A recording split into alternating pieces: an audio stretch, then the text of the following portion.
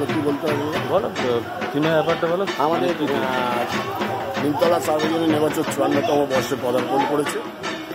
আমাদের এই সমগ্র পরিকল্পনা আমাদের শিল্পী বাপি দাস আমার সাথেই আছেন ওনার ভাবনা ওনার পরিকল্পনা উনি এটা দিয়েছেন। উনি দীর্ঘদিন ধরে এটাকে নিয়ে পর্যালোচনা করে আমাদের সাথে আলোচনা করে যে মধ্যপ্রদেশ ওড়িশা এবং ছত্তিশগড়ের বিভিন্ন ট্রাইবাল এলাকায় গন্ড উপজাতি বলে এক উপজাতির বাস আছে, সেই উপজাতিদের হাতে তৈরি বিভিন্ন কারুকার্যকে সামনে রেখে এই কলকাতাবাসী পুজোকে যাতে কলকাতার মানুষের এনাদের প্রতি কোনো ধারণা জন্মায় এবং এনাদের কাজের সম্বন্ধে ধারণা জন্মায়, যেহেতু এনারা প্রাকৃতিক প্রকৃতিকে সঙ্গে নিয়ে এই কাজ করে, তাই এই প্রকৃতিকে সামনে নিয়ে এই কাজটাকে করার জন্যই আমরা এই গন্ড উপজাতিদের যে গন্ড নামে পরিচিত এই কাজটাকে আমরা আপনাদের সকলের সামনে উপস্থাপনা করেছি এবং এই উপস্থাপনার প্রধান রূপকার আমাদের শিল্পী বাপি দাস আমাদের মধ্যে আছেন। উনি এইটার ব্যাপারে আরও দীর্ঘানুপূর্বভাবে বলতে পারবেন বাপি আসলে এটা এমপি উড়িষ্যা এবং ছত্তিশগড়ের কিছু অংশে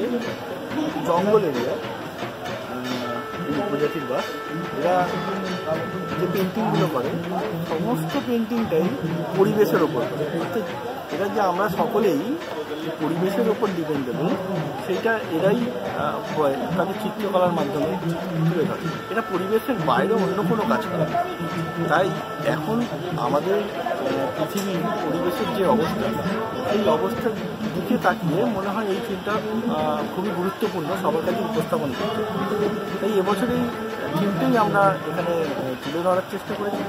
এবং ওখানে গিয়ে ওখানকার লোকেদের সঙ্গে কথা বলে ওখানকার লোকেদের এনে বিভিন্নভাবে আমরা মানে আপনি রিসার্চ করেছেন কি এই ব্যাপারটা নিয়ে? এই ব্যাপারটা নিয়ে তো এক বছর ধরে আমরা এই বিষয়টা নিয়ে কথা বলে এই বিষয়টা নিয়ে কীভাবে কাজ করা লাস্ট ইয়ার যখন পুজো শেষ হয়েছে তারপর থেকে আমরা এটাকে মানে এক বছর ধরে করছেন আমরা? এক বছর ধরে এটা নিয়ে চিন্তাভাবনা চলছে।